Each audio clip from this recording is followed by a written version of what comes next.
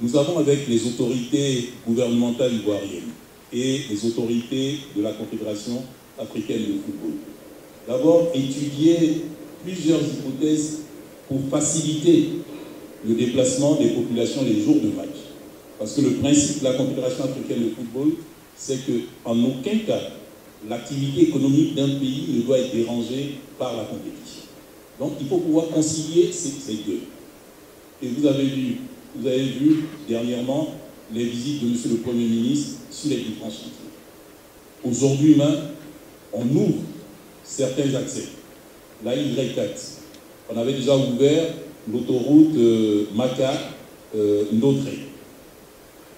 L'autoroute du Nord sera euh, aménagée de telle sorte qu'il y ait des couloirs pour ceux qui vont au match qui détiennent un pass. Le, quatrième pont, le pont de Yopougon qui relie le, Yopougon au plateau sera ouvert incessamment. Il, il, reçoit la visite du Premier ministre aujourd'hui et certainement dans la foulée, il sera ouvert.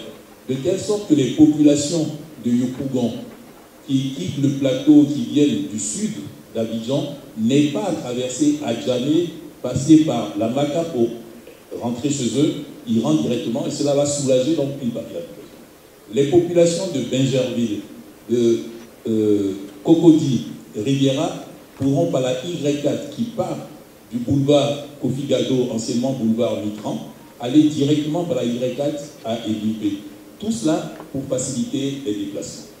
Au, niveau des villes hautes, avec la SOTRA, nous avons un partenariat qui a permis à la SOTRA de ventiler un certain nombre de sa flotte dans les villes hautes, Waké, Yamsokro, euh, Korogo et San Pedro. Donc, ces cas, il y aura des points de rassemblement.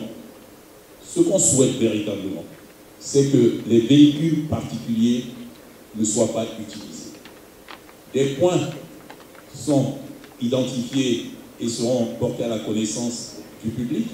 Il y a des parkings relais qui ont été identifiés et qui ont été aménagés pour permettre aux spectateurs qui veulent y aller de laisser leur véhicule en toute sécurité, d'emprunter les bus et les moyens de transport en commun pour aller au stade.